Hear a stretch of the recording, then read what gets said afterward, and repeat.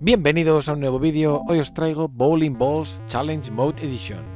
Para empezar la partida tenéis que mantener la izquierda y después pulsar la X, así conseguiréis que esta especie de cesta se mueva lo más rápido posible. Haciendo así que en unos 14 segundos hayamos conseguido el mínimo de puntos necesarios para el platino, que son 1100. En este caso he tenido suerte y a la primera he conseguido 1200. Si no salís a la primera no pasa nada, en un par de intentos, en cualquier caso en 1 o 2 minutos, lo conseguiréis seguro. Y ahora solo nos quedaría esperar a que nos salten todos los trofeos, incluyendo el platino.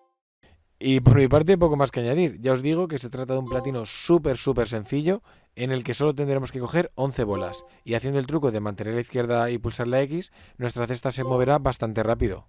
Así que, si queréis un platino por un euro o un dólar, ya sabéis.